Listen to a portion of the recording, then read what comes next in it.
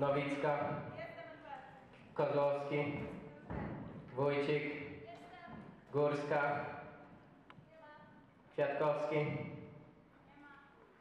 Dobrze, więc proszę, żeby swoje zadanie domowe przeczytał. Może numer 12? Mm, to może numer 6. Yy, a na której to miało być stronie? 46. No wie pan, jakoś tak wyszło, że nie zrobiłam. No nie mam. Ale nie, nie, nie, musicie robić zadania domowe. One są stricte pod maturę. Dobrze, wróćmy do interpretacji wiersza, który wczoraj zaczęliśmy. A więc wiersz Juliusza Słowackiego. Nawiązuje on do Biblii i pokazuje topos palącego się krzaka, ale proszę o ciszę. Występuje też topos vanitas oraz topos ruin. Gdy krzak się spala, zostają po nim ruiny. Ale proszę to schować, na maturze nie będziecie mieć telefonów.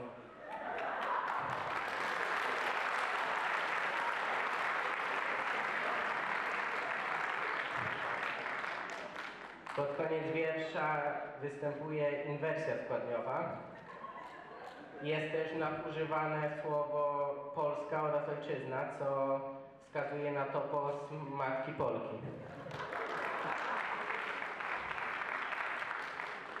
Ale proszę już o spokój. Dobrze, na zadanie macie 4, 6, 7 ze strony 45, analizę wiersza ze strony 51, 58 oraz o, nie zapomnijcie o lekturze.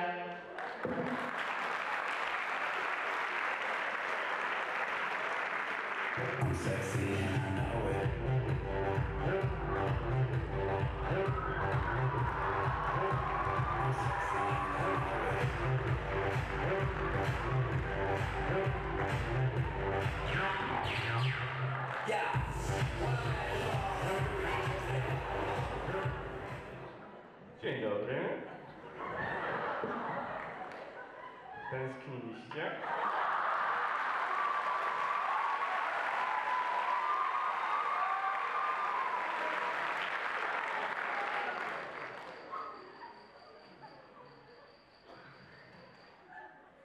myślałem. To może jakieś małe pytanko na początek? No tak, tak, bez dyskusji. No to może Moniczka? No chodź. Ale ja nic nie umiem, proszę pana. Mi panu No chodź, chodź. Ja nikomu nie stałem gała. Chodź.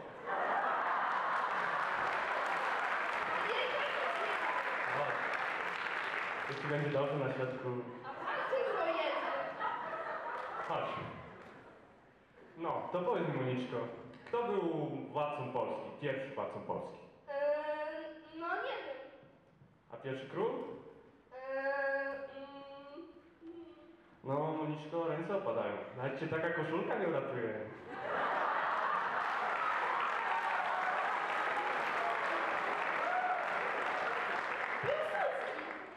No, on nie był królem.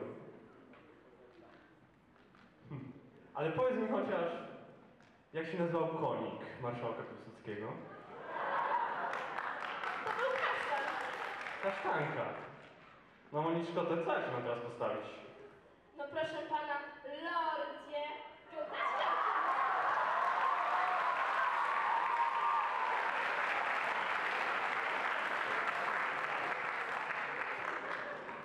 No jakąś tam wiedzę masz, no ale lepiej niż plus 4 nie mogę dać. Muito obrigado.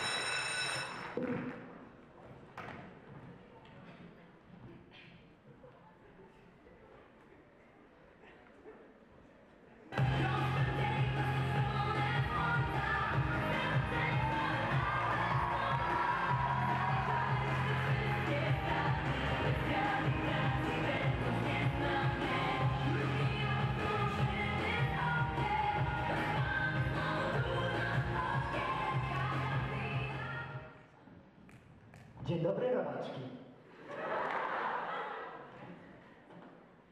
Dzisiaj będziemy rozmawiać o prędkości. Zapiszcie sobie definicję.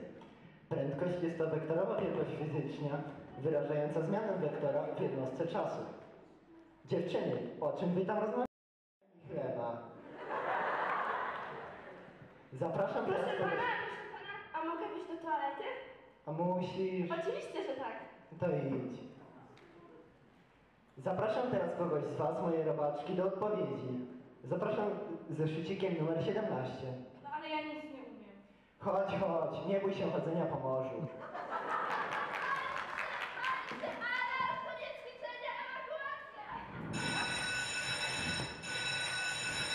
Uwaga, uwaga, to nie są ćwiczenia. Uwaga, uwaga, ewakuujemy się do sali widowiskowej Domu Kultury MOX na nagrodzenie naszych wspaniałych nauczycieli.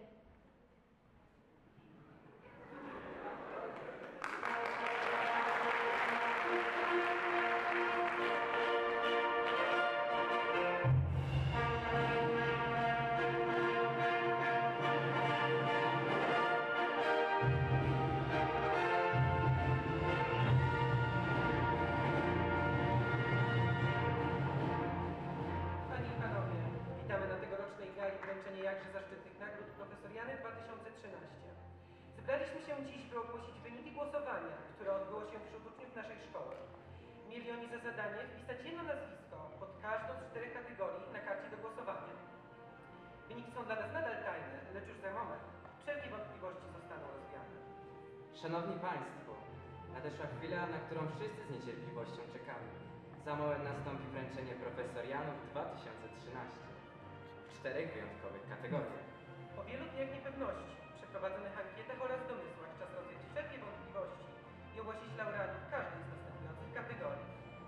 Świetnej riposty, Najciekawsze prowadzenie lekcji na- nauczyciel zadający najwięcej zadania domowego. oraz nauczyciele z najlepszym poczuciem humoru. Niezwykle miło jest nam ogłosić, że zwycięzcą profesoriana w kategorii Mistrz świętej riposty zostaje... Pan Sławomir Surowiec. Zapraszamy na scenę.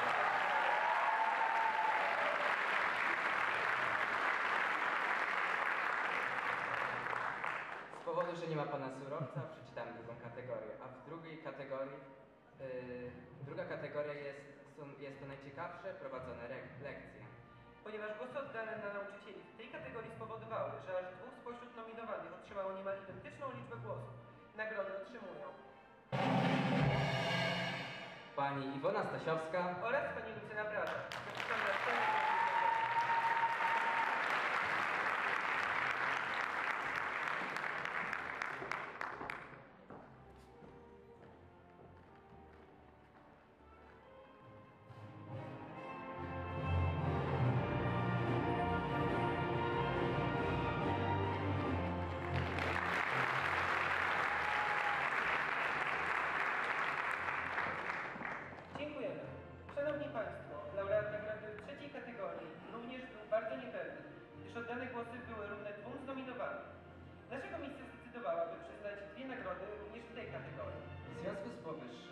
Zdobywcami nagród profesoriany 2013 w kategorii nauczyciel zadający najwięcej zadania domowego zdobywają aequo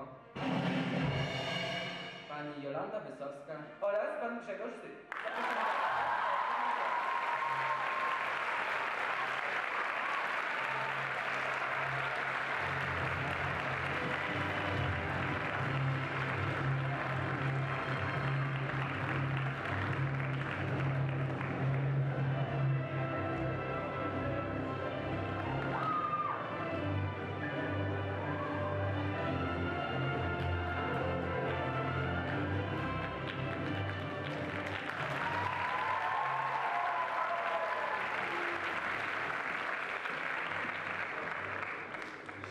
Państwo, dzisiejsza gala przysparza nam wszystkich niecodziennych emocji. Z przykrością, jednak niesamowitą niecierpliwością pragniemy ogłosić, że ostatnia kategoria jest wyjątkowa i z pewnością dostarczy zarówno Państwu, jak i nam dawki humoru, gdyż ten profesorian zostanie wręczony w kategorii najlepsze poczucie humoru. Podobnie jak poprzednio, były, głosy były równe dla dwóch spośród nominowanych. Ostatnie, lecz równie ważne i wyjątkowe profesoriany trafiają do Pani Lucyny Prażak, oraz pana Mariusza Wieka.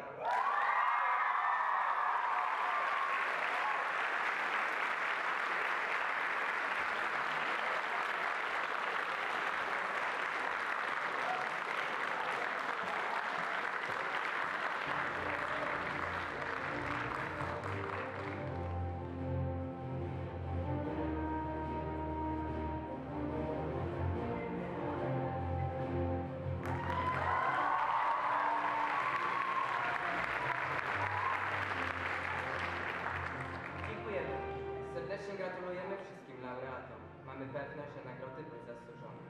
Głosy uczniów mówią same za siebie. By jednak wyróżnić i podziękować wszystkim nauczycielom naszej szkoły za ich trud i pracę, której owocem jest nasza wiedza, gorąco zapraszamy na scenę wszystkich nauczycieli naszej szkoły po odbiór pamiątkowej nagrody.